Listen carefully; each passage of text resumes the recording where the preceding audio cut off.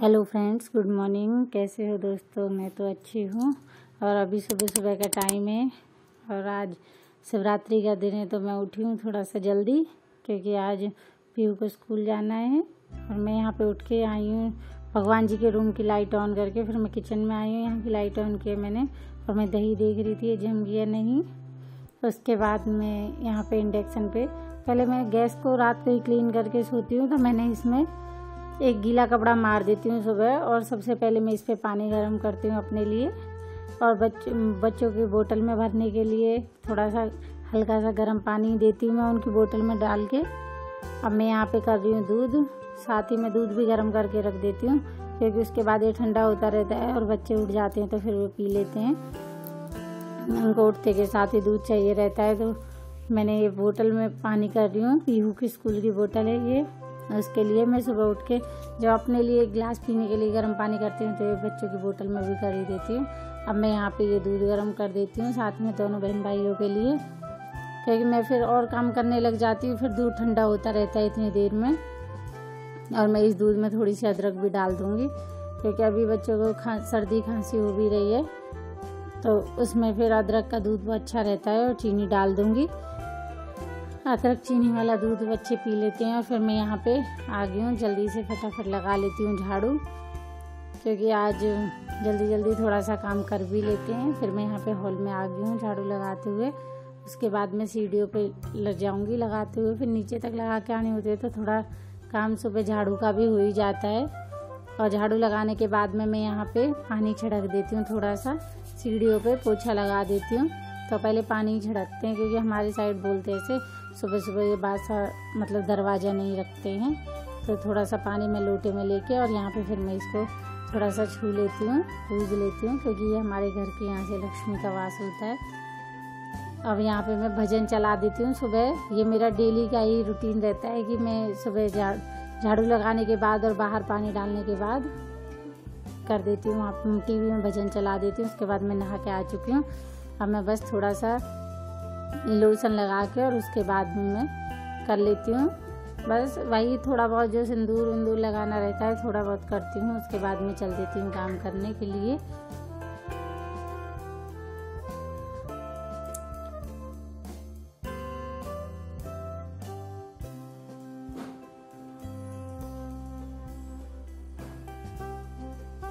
Hello hello friends good morning कैसे हो दोस्तों?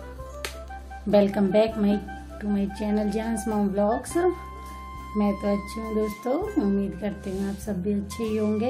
और आज बहुत बहुत स्पेशल दिन है। जैसे आपको पता है, आज है महाशिवरात्रि। आप सभी को महाशिवरात्रि की बहुत बहुत शुभकामनाएँ। और भगवान भोलेनाथ आपकी सब मनोकामना पूरी करें।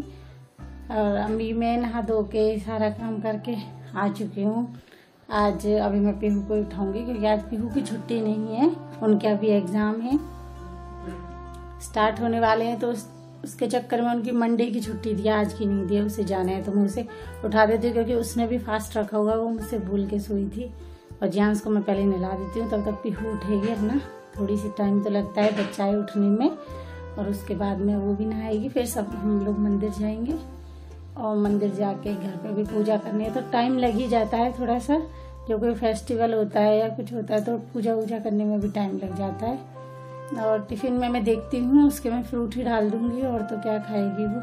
मैं तो मना भी कर रही थी, पर वो कह रही, नहीं, मम्मी, मैं रखूँगी तो रखना है तो उसे फिर रख ही लेगी कोई नहीं, बच्चा है, ऐसे ही धीरे धीरे सीखते हैं। बाकी जल तो चढ़ाने में हमेशा लेके जाती हूँ, वैसे भी डेली मंदिर जाती है। पर जल चढ़ाने के लिए तो अगर नहीं भी डेली भी नहीं जाती कहीं दूर रहता है मंदिर यहाँ तो चलो पास में है तो डेली चले जाते हैं। पर शिवरात्रि वाले दिन तो मैं दोनों बच्चों को लेके ही जाती हूँ। चलो अभी सुबह सुबह का टाइम है ज़्यादा बात नहीं करते हैं क्योंकि बहुत ज़्यादा बात करने से हो जाए यहाँ पे मैं आ गई हूँ और जाँच को पहना रही हूँ कपड़े। सारा काम हो जाता है लेट के बाद में दिन में बात करते हैं। जी जाँच को नहीं ला hi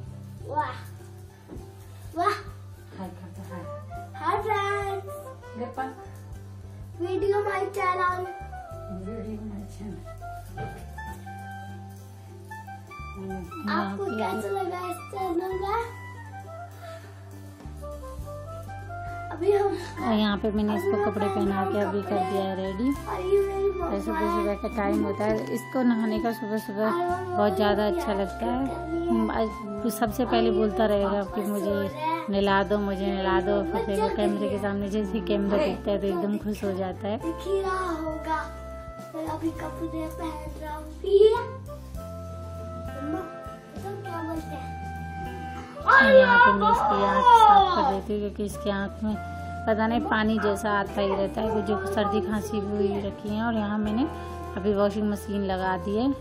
फटाफट कपड़े धुल जाएँगे क्योंकि अभी पानी जाने का नहीं तो टाइम हो जाता है। ये कल की मैंने ऑन ही छोड़ रखी थी, इसे डायरेक्ट बंद कर देते हैं तो ये वहीं से ही स्टार्ट होती है। तो वहाँ एक पे थी, जब मैंने ये बंद की थी लाइट चली गई थी तो ये बंद हो गई थी वहीं, और यहाँ पे ये लोग कर रहे हैं पूजा की तैयारी। क्योंकि पीहू को स्कूल जाना है तो फटाफट वो तैयारी कर रही है।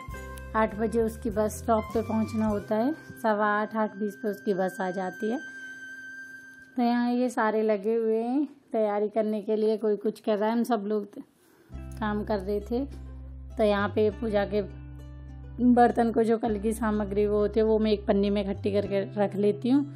और यहाँ फिर पीहू ले आई है पूजा के बर्तन साफ़ करने के लिए। और ये आराम आराम से पूजा के बर्तन साफ़ करेगी जब तक हम उधर काम कर लेते हैं। क्योंकि सुबह कुछ रात को कुछ भी करके रखा नहीं था। बेलपत्र धो के या फ्रूट व्रूट कुछ भी धो के नहीं रखा था तो सारी चीज़ें अभी करनी थी। और, और उसी में हम सब लोग लग रहे थे। देखो पीहू कितने आराम आराम से बर्तन साफ़ कर रही है एकदम। जैसे आप यहाँ पे आ गई है जोत जला रही है, क्योंकि पहले यहाँ पे घर पे जोत जला के चले जाएँगे, फिर मंदिर में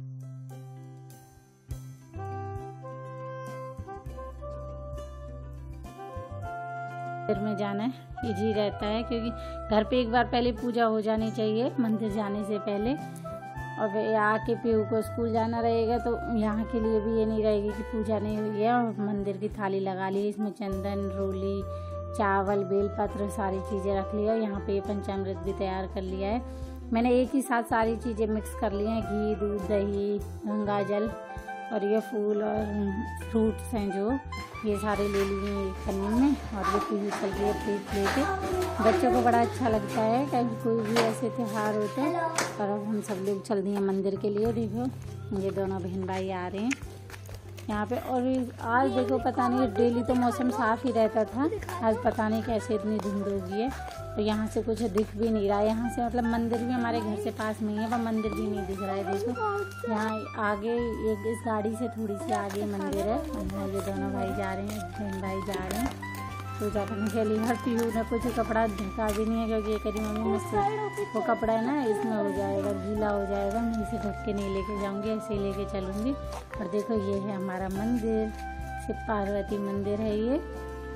ये छोटा सा ही मंदिर है, पर घर के पास में है, चलो, मंदिर जल चढ़ाने के लिए मिल जाता है, और अब हम आ गए हैं सब लोग मंदिर में। यहाँ पे और बच्चे कर रहे हैं पहले पूजा तो मैं वही पीहू को मैंने बताया हुआ है कि यहाँ पे जो ये होती है जिसमें से जल निकलता है, उसका लांगते नहीं है उस लाइन को। तो जियांशु से समझा रहा है कि मम्मी ने ऐसे ऐसे बताया है।